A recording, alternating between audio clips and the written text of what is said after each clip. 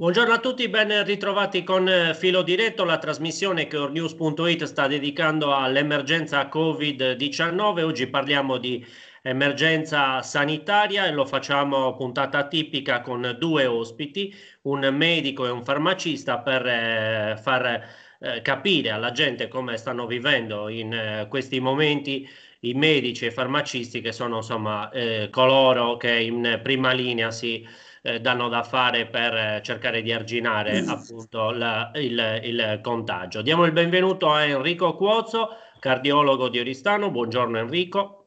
Buongiorno, buongiorno a tutti. E a Luigi Annis, farmacista titolare di farmacia San Vero Milis. Buongiorno Luigi. Buongiorno a te, buongiorno a tutti. Allora, partiamo con lei, dottor Cuozzo. Eh, come stanno vivendo i medici come lei, insomma, quindi titolari di strutture private, questo, questo momento da quando è partita la, la, pandemia e quindi di conseguenza l'emergenza sanitaria? Ma eh, per quanto ci riguarda, eh, ovviamente la struttura dove lavoro io è una struttura convenzionata, o meglio una struttura pubblica eh, a gestione privata e quindi su indicazione della regione ci siamo eh, adeguati cercando di ehm, annullare o meglio di rinviare le visite non urgenti e ci siamo concentrati prevalentemente a quei pazienti che avevano una eh, necessità più urgente di essere visitati, in questo caso in ambito cardiologico.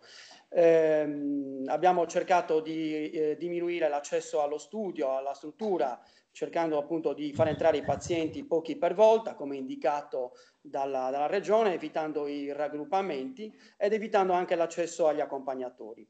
E, eh, per quanto riguarda noi, noi abbiamo, ci siamo autodotati di eh, dispositivi di protezione, quindi mascherine, occhialini, guanti e eh, abbiamo cercato di eh, mantenere praticamente le regole eh, disposte eh, dalla regione e anche dal Ministero.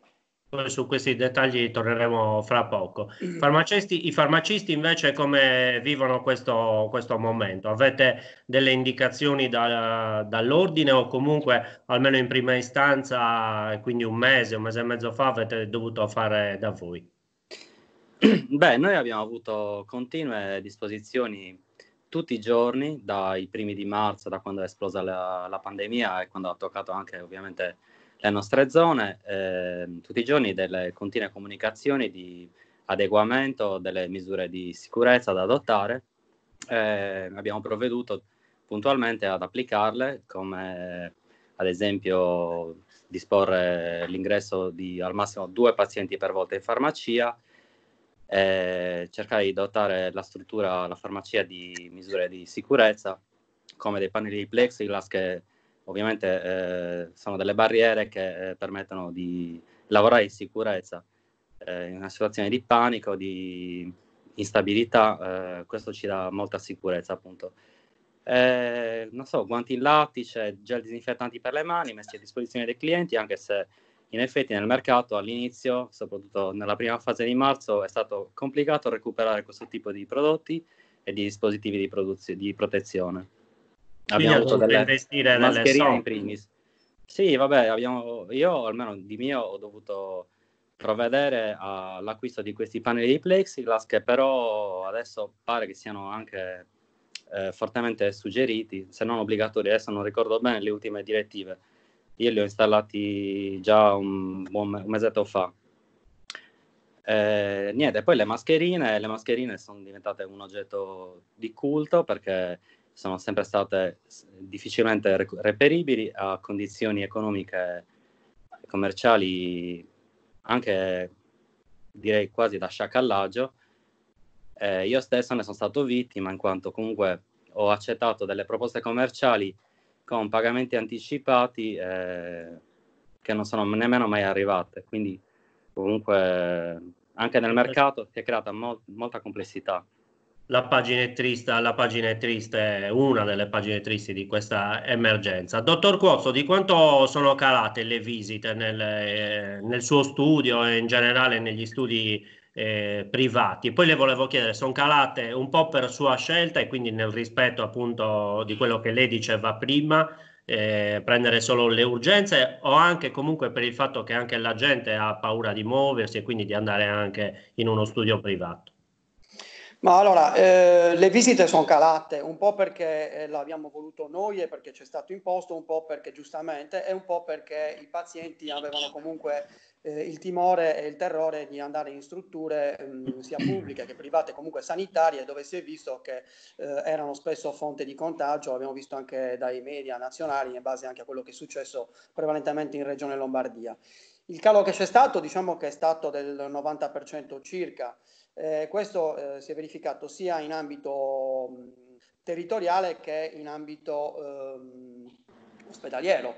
Esiste una, una, uno studio della Società Italiana di Cardiologia che eh, è stato anche, eh, l'abbiamo letto tutti anche su Repubblica, è stato pubblicato anche su Repubblica, dove si è visto che rispetto a, a una uguale settimana di marzo, eh, nel marzo di quest'anno c'è stato anche un calo del 50% dei pazienti, per esempio, ricoverati per infarto eh, miocardico. E questo eh, la dice lunga su quello che mh, succederà nei prossimi mesi alla ripresa appunto della, del, del lavoro.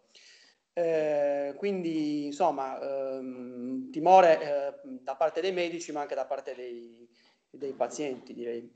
In questo contesto io direi che è stato fatto un ottimo, un ottimo lavoro da parte dei medici di medicina generali, che, generale che hanno fatto un ottimo filtro a livello territoriale e poi in strutture come questa che hanno lavorato poco, ma quel poco che hanno lavorato erano prevalentemente pazienti con sintomi respiratori non inquadrabili come pazienti Covid, ma pazienti con scompenso cardiaco che in altre occasioni sarebbero dovuti accedere in strutture mh, ospedaliere.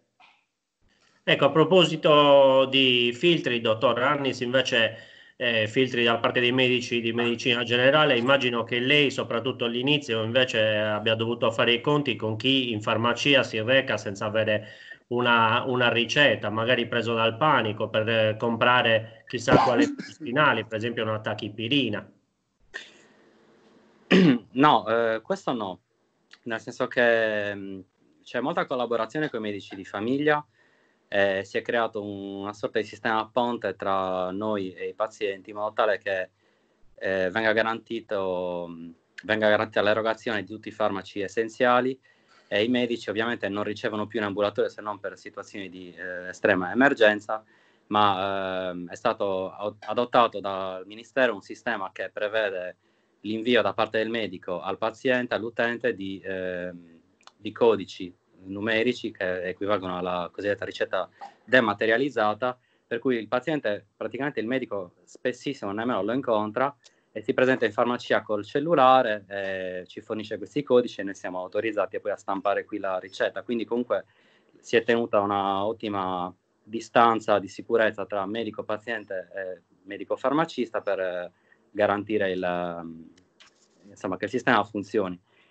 Eh, panico ce n'è stato all'inizio, molta confusione, il telefono che squillava continuamente, eh, richieste continue di informazioni che ovviamente siamo qui a, a dare. Le più eh, curiose? qualche aneddoto da... No, vabbè, no, no, curiose no, più che altro le solite domande continue sulle mascherine che non si trovavano e veramente su su 150 telefonate, 144 eh, erano su richiesta di, far, di, di mascherine. Eh, sì, richieste di chiarimenti, ma panico in generale no, più che altro molta confusione. Molta confusione.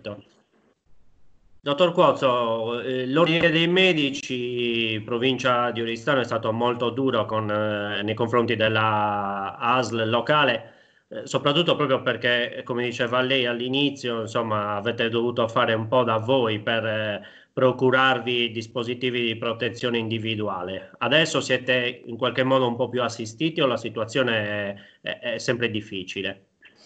Ma l'ordine dei medici, pilotato dal presidente Antonio Sulis, ne faccio parte anch'io dell'ordine, è stato critico eh, intanto perché ehm, Oristano è stata un po', diciamo così, cenerentola rispetto alle altre ehm, province ehm, eh, della Sardegna, anche se poi per fortuna le cose sembrerebbero andare abbastanza bene. Certo, c'è stata una carenza eh, di eh, dispositivi di protezione, l'ordine si è battuto prevalentemente per questo.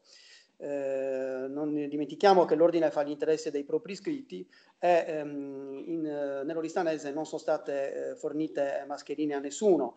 Eh, io stesso mh, mm, mi sono lamentato per la nota diffusa dall'assessorato che ha disposto la, um, la diciamo così, la, la, delle, le, le, mascherine che dovevano essere date diciamo così, ai, ai medici e per esempio non ha considerato le strutture eh, private come la mia che comunque garantivano le urgenze, per cui noi ce le siamo dovuti tutti quanti eh, procurare, chi a destra e chi a sinistra, soprattutto grazie a, a, alle amicizie.